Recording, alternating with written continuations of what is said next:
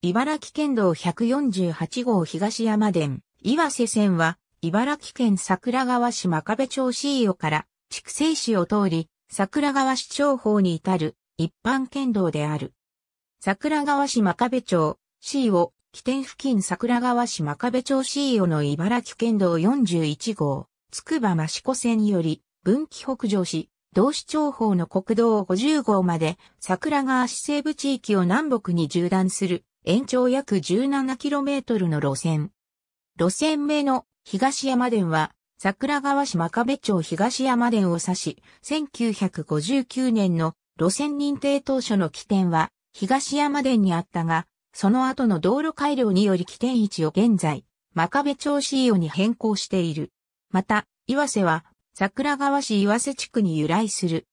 1959年10月14日、新たな県道として、真壁郡真壁町大あざ、東山田を起点とし、西茨城郡岩瀬町を終点とする区間を本路線とする県道東山田岩瀬線として、茨城県が県道路線認定した。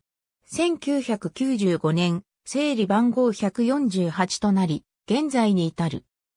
桜川に架かる中村橋原道は、北関東自動車道にアクセスする道路として利用されているが、福音が強小で、屈曲部も多く、車両の通行や通学に支障をきたしており、茨城県では、筑西市宮後から桜川市大国玉野間のバイパスの整備を平成7年度から事業に着手し、2009年11月までに 3.44km が開通している。ほぼ全線において改良が進められている。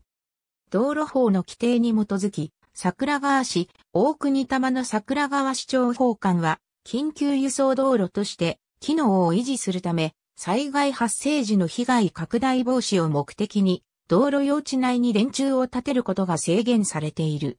福音、曲線半径、勾配その他道路の状況により最大積載4トンの普通貨物自動車が通行できない区間。